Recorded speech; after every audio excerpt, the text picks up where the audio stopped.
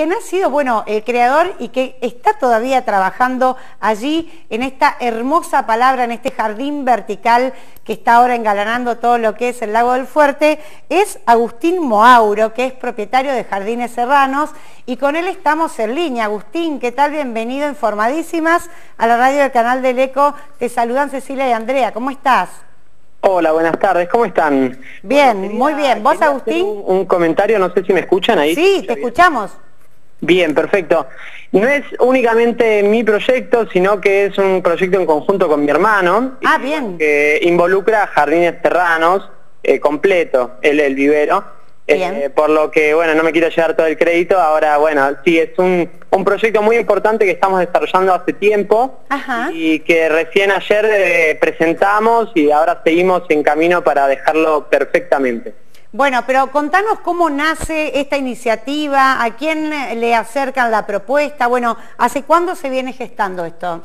Bueno, esto se viene gestando desde noviembre del año pasado, del año 2019, todo surge de bueno, una capacitación que hicimos eh, en jardines verticales, que bueno, es una certificación internacional que hicimos con paisajismo urbano, que de a poquito se fue transformando en, bueno, llevar a la práctica, llevar a la práctica, y todo eso encausó en hacer un vertical movible que llevamos a San Susi el año pasado, a la Expo Jardín, y ahí, a raíz de que, bueno, nos cruzamos con el intendente Lungui, y bueno, todo lo que se fue encauzando, se propuso para la ciudad de Tandil generar un, espacio en donde se involucró un jardín vertical y, bueno, ahí es donde surgió toda la idea. La idea no es únicamente nuestra, sino que fue una propuesta que hicimos a, nivel municipio y que después, a través de idas y venidas, decidimos hacer la palabra Tandil eh, y bueno, la ubicación la decidieron también desde la Intendencia.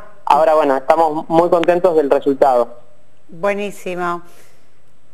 Agustín, bueno, primero felicitarte porque quedó hermoso. Quienes pasamos ayer veíamos cómo la gente iba filmando, se paraba para ver qué cantidad de plantines y, qué plantas son las que están ahí, porque hay flores, hay follaje. Contanos un poquito el, detalle de eso. Bien, en sí las, las variedades fueron todas selectas por... Eh, bueno, mi hermano Nicolás, yo y mi mamá, que es paisajista, ella está involucrada en todo lo que tiene que ver con las plantas, entonces ella decidió y seleccionó plantas específicas para que resistan a, bueno, esto, está en la intemperie, digamos, estamos en, un lugar donde le da el viento, le da el sol, entonces decidimos poner algunas plantas, no hay nativas, sí tenemos estipas, esas sí son nativas, ahora después son todas plantas seleccionadas, eh, la mayoría son perennes, por lo que se va a mantener así todo el año, no hay que cambiar plantas y demás. Y pusimos algunas plantas más bien herbáceas, que lo que permiten es una excelente floración y un color que seguramente habrán visto eh, característico de ayer. Lo que tiene ahora es que también tenemos manto de la Virgen, tenemos artotis, todas plantas que en esta época florecen un montón y le agregan muchísimo color a la palabra Tandil. Ahora, eh, ¿bajo, ¿bajo qué sistema han eh, colocado eso, Agustín? Yo te pregunto porque recuerdo que hace un tiempo hicimos una nota muy linda ¿no? sobre lo que es hidroponía, bueno, el sistema de riego que tienen estas plantas. ¿Están bajo ese sistema? ¿Cómo, bueno, cómo, cómo las han dispuesto? Mira, bueno, eh, todo lo que tiene que ver con el sistema de riego, como decías, es un sistema de, riego hidropónico. Todas estas plantas si bien tienen un poco de tierra, tienen la cantidad óptima como para que se mantengan en el bolsillo. Ahora, todo lo que es la fertilización, eh, la, medición de pH y todo, se hace automáticamente con un sistema de riego que nosotros dejamos programado y filtrando el agua del dique utilizamos bueno, el agua misma que está aledaña al jardín vertical. Eh, entonces, de esa forma, el jardín vertical no solo que se riega entre unas 5 a 8 veces por día, eh, depende también la estación y la cantidad de sol, sino que también al mismo tiempo se está fertilizando, por lo que las plantas se mantienen bien y tienen buena comida. Ajá. Bien, imagino que también, bueno, estas plantas van a, tener que estar haciéndole pequeños retoques, también cambiarlas, bueno, porque están, por supuesto, en un ámbito donde, donde crecen, o han buscado especies que también tengan un crecimiento más lento. Mira, nosotros lo que, lo que hicimos fue utilizar diferentes plantas que, como son todas herbáceas, crecen bastante rápido, algunas crecen mucho más rápido, como las clavelinas, que verán que están ahora florecidas entre blancos, violetas y rosados.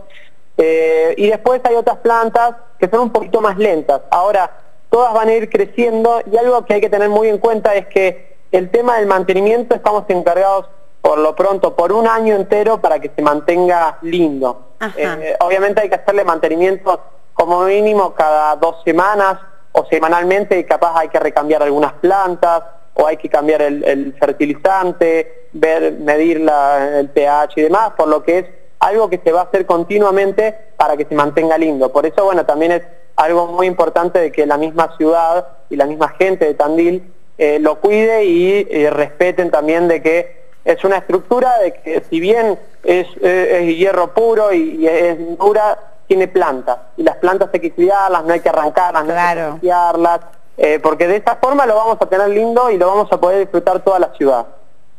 Muy bien. Agustín, ustedes tomaron conciencia que ese lugar va a ser uno de los, un atractivo más donde muchos turistas, una vez que se restablezca esto, y también los tandilenses vamos a usar para fotografiar, eh, que va a quedar esto, van a quedar en, la historia, ya, ya, son parte de la historia. Yo mi propuesta para que se la tiren al intendente, estaría bueno que al lado de ese cartel maravilloso con plantas que, que ha quedado hermoso, pongan, bueno, la cantidad de habitantes, eh, algunas características de lo que significa la palabra Tandil y que ustedes aporten qué tipos de plantas están ahí y cómo se mantienen, como una forma también de, aprender y valorar este trabajo que ustedes han hecho.